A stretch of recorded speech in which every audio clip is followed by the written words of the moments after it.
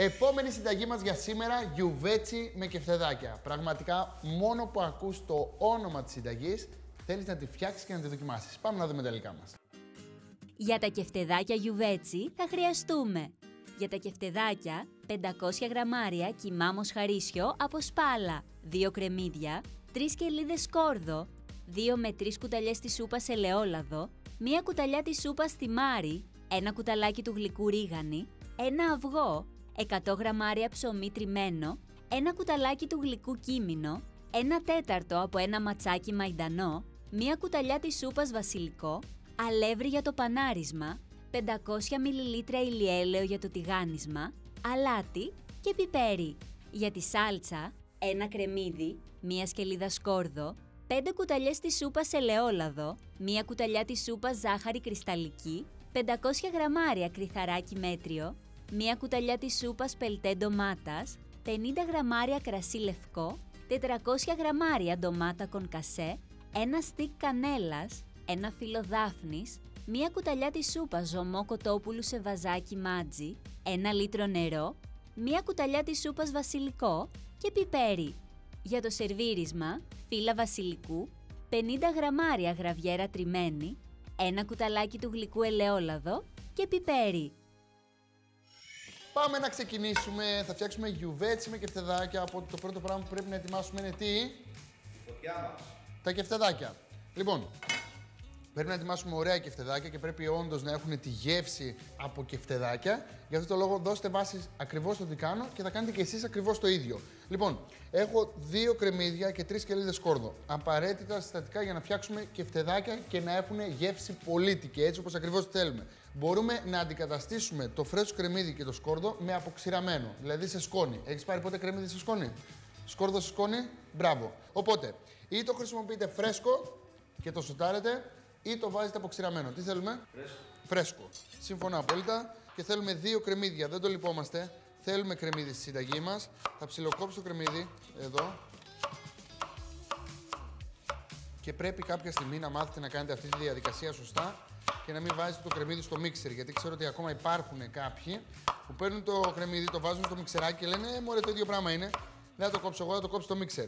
Δυστυχώς το μιξεράκι το διαλύει το κρεμμύδι. Το κρεμμύδι θέλουμε καθώς ψηθεί στο τηγάνι ε, να γλυκίσει, να βγάλει τα ζάχαρά του και ουσιαστικά να μας δώσει γεύση στο φαγητό μας. Άμα το διαλύσουμε στο μίξερ, μετά δεν έχει να μας δώσει τίποτα. Βάζουμε απλά ζουμί στο τηγάνι και αυτό που παίρνουμε είναι ένα διαφορετικό υλικό. Λοιπόν, οπότε ψιλοκόβουμε το κρεμμύδι και όπως βλέπετε έχω βάλει μια γενναιόδορη ποσότητα, δεν θα το λυπηθώ.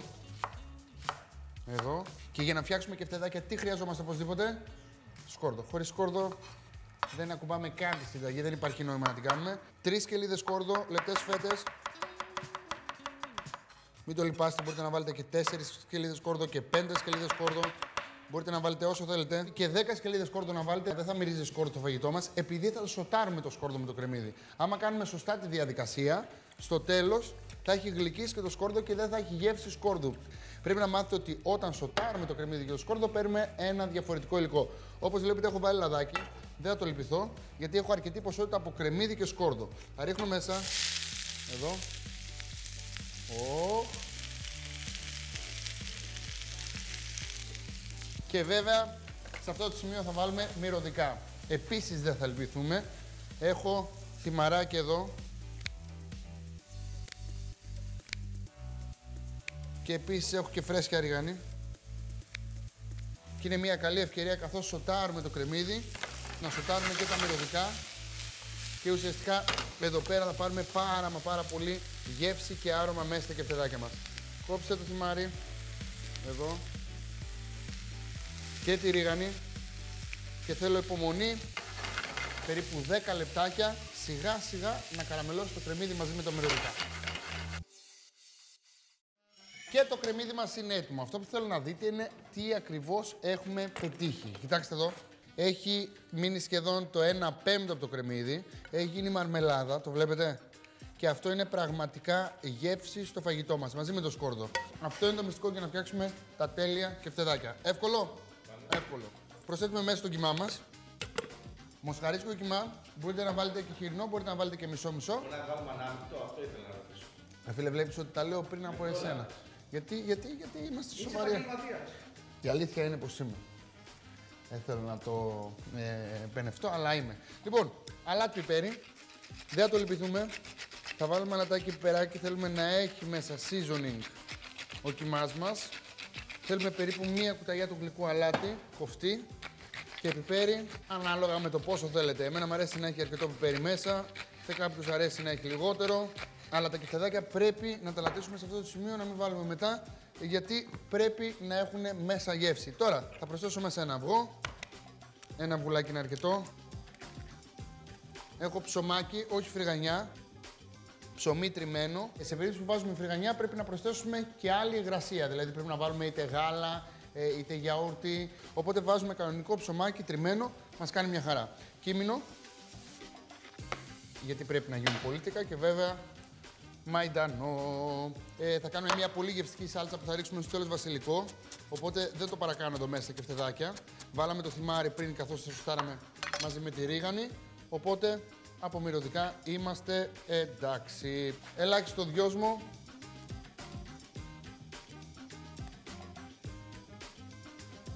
Μας αρέσει ο δυόσμος, πάει πάρα πολύ με τα κεφτεδάκια. Οπότε βάλτε αρωματικά, μην τα λυπηθείτε. Θέλουμε αρωματικά στα κεφτεδάκια. Και τα κεφτεδάκια από μόνα τους θα κάνουν νόστιμη τη σάλτσα καθώς θα ψήνονται. Τώρα, ανακατεύουμε. Με αγάπη και φροντίζουμε να πάνε όλα τα υλικά παντού. Εσύ βάζεις ψωμί ή φρυγανιά στα κεφτεδάκια. Ψωμί. Εγώ βάζω φρυγανιά. Βα... Βάζεις γάλα; Βάζεις γιαούρτι; Λοιπόν, η μία μου γιαγιά βάζει σόδα στα κεφτεδάκια. Αλλά βάζει και γιαούρτι. Φουσκώνουν πάρα πολύ, γίνονται καταπληκτικά τα κεφτεδάκια, αλλά άμα τα φας μετά από το 20 λεπτό δεν τρώγονται. Πρέπει να τα φας εκείνη την ώρα με το που βγουν καυτά από τη φωτιά. Ε, η άλλη μου γιαγιά βάζει πολύ σκόρδο. Είναι σαν τα κλασικά σοκολατάκια που μέσα έχουν φουντούκι. Αντί για φουντούκι, της γιαγιάς μου τα κεφτεδάκια έχουν μέσα σκόρδο. Μια ολόκληρη σκελίδα. Αλλά μου αρέσουν πάρα πολύ. Λοιπόν, τα κεφτεδάκια μας είναι έτοιμα. Οπότε θέλουμε μικρά μικρά κεφτεδάκια. Εδώ. Και μόλις τελειώσουμε όλα τα κεφτεδάκια μας, θα τα τηγανίσουμε. Εννοείται πως ε, άμα θέλετε να τα ψήσετε στο φούρνο μπορείτε με λίγο λαδάκι για να κάνετε μια πιο light εκδοχή. Αλλά η παραδοσιακή συνταγή θέλει τα κεφτεδάκια να τα τηγανίσουμε.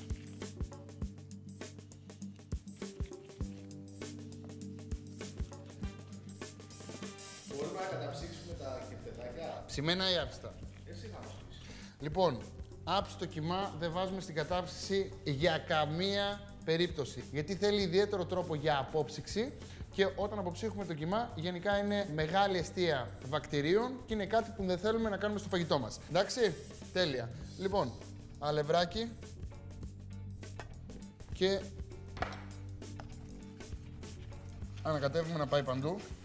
Εδώ, φύγεις από εδώ. Τέλεια. Και τώρα, εδώ και μέσα στο λάδι μου που καίει.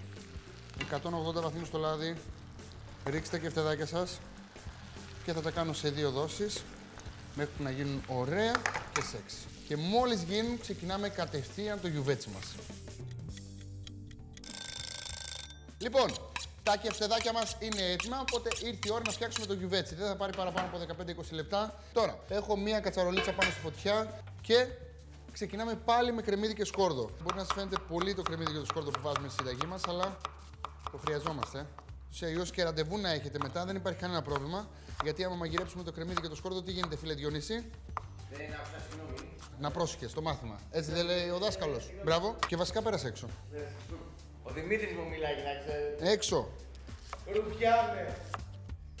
Καλά, ο Δημήτρης δεν μπορεί να βγει γιατί μετά δεν θα έχουμε κάμερα. Κάποιος πρέπει να παίρνει. Όχι ότι έχουμε τα πλάνα του, γιατί δεν κάνει πολύ ωραία, αλλά εντάξει, τώρα δεν πειράζει. Εντάξει, λοιπόν, κρεμμύδι, σκόρδο, εδώ και ελαιόλαδο. Δεν το παρακάνουμε τώρα στο λαδάκι, γιατί θα ρίξουμε στο τέλος λάδι. Οπότε λίγο λάδι, ίσα ίσα να σουτάρουμε το κρεμμύδι μαζί με το σκόρδο. Ρίξαμε δυόσμο μέσα στα κεφτεδάκια και εγώ θέλω να βάλω βασιλικό στο τέλος στη σάλτσα μου. Οπότε μπορείτε να βγάλετε το δυόσμο από τα κεφτεδάκια. Εντάξει; Δεν ξέρω, πρώτη φορά το λέω αυτό στη συνταγή. Και Και να βάλετε βασιλικό. Για να έχουμε βασιλικό και μέσα στα κεφτεδάκια και στη σάλτσα. Εντάξει; Θα προσθέσω μαζί με το κρεμμύδι και το σκόρδο τη ζάχαρη. Εδώ. Θα ανακατέψω. Ναι. Μπορούμε να σοτάρουμε λίγο το ρυζάκι έτσι για να είναι λίγο πιο crispy. Δεν είναι ρύζι, είναι κρυθαράκι. Πρέπει να το κάνουμε αυτό. Γιατί σε περίπτωση που δεν σοτάρουμε το κρυθαράκι εδώ πέρα, τι θα γίνει το κρυθαράκι στο τέλος; Λάσπη.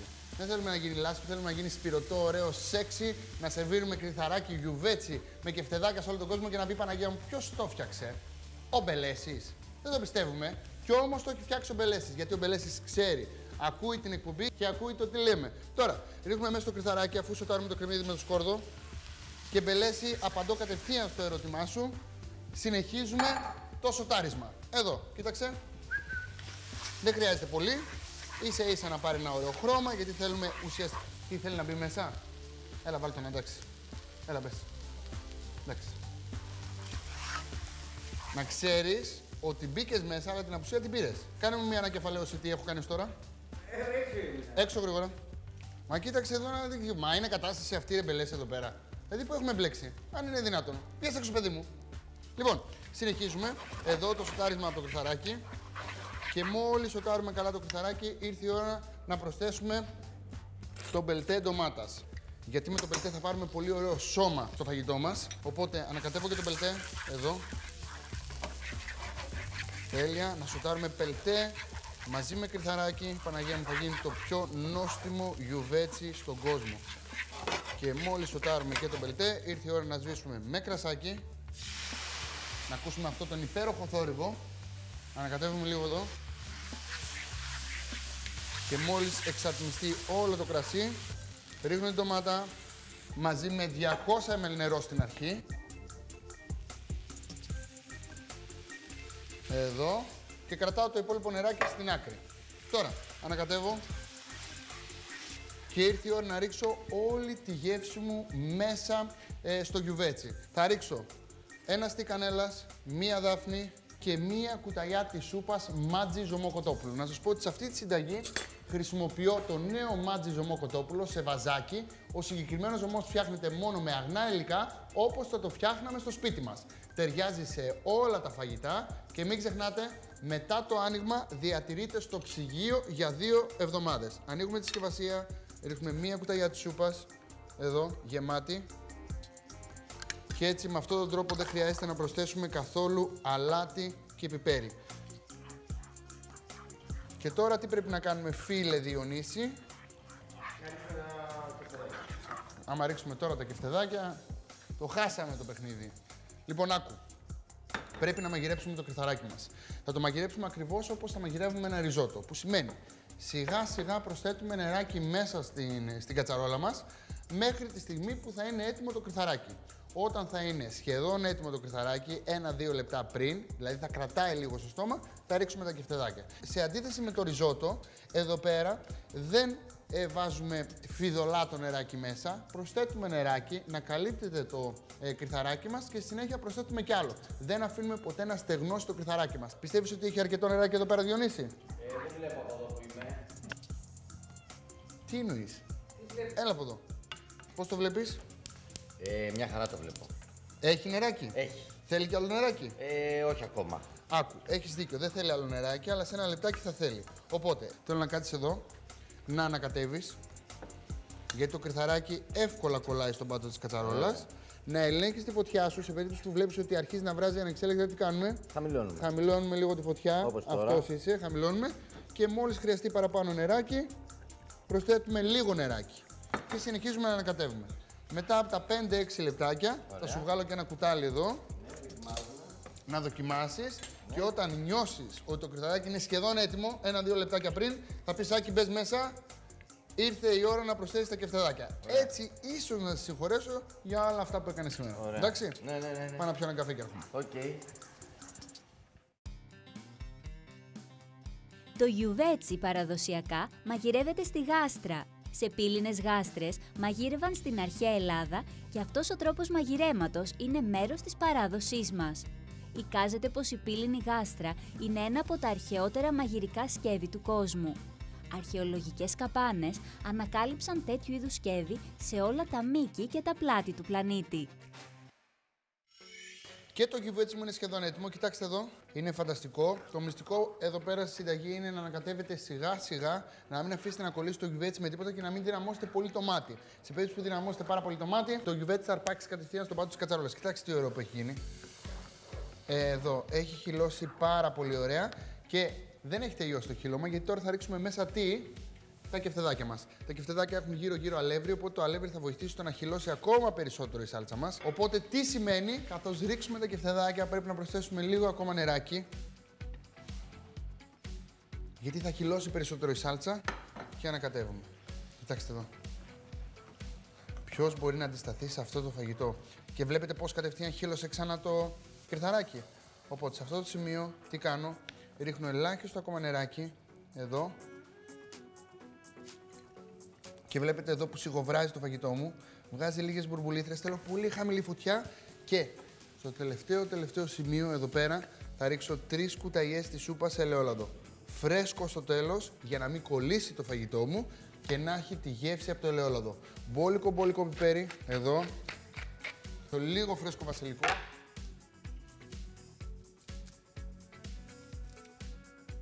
Θέλω βασιλικό. Θα κρατήσω μία τουφίτσα στο τέλος για να σερβίρω και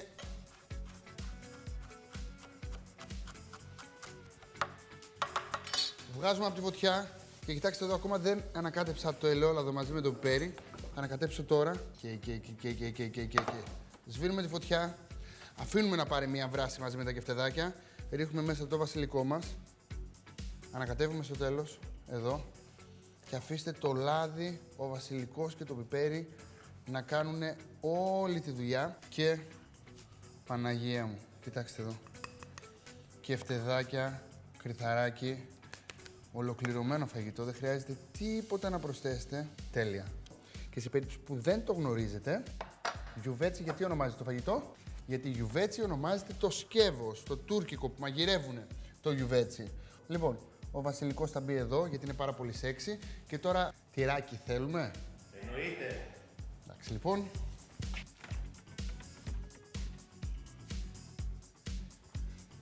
Θα ρίξω μια γραβιέρα, αλλά και η παρμεζάνα πηγαίνει μια χαρά. Να μην το παρακάνω. Και νομίζω ότι είναι αρκετή. Μία σταγιά ελαιόλαδο στο τέλος, γιατί σας λέω μου αρέσει πάρα πολύ να μυρίζει λαδάκι το φαγητό μου.